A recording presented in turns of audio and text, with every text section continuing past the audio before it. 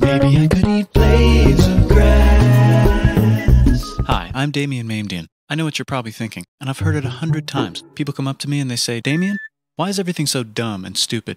Well, that's a great question, and I'll answer it for you. First, let's plant some trees. Okay, what was your question? Oh, yeah, the world is stupid. Right. Okay, well, have you ever found love? Have you ever been in love? I have, it's pretty wonderful.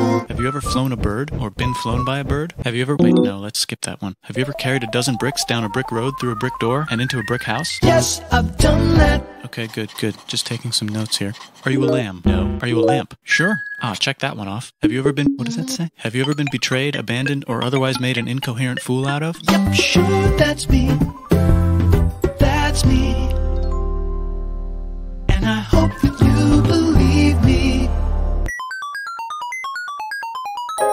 Here's a rock with a plaid shirt. That's stupid. Everything is stupid.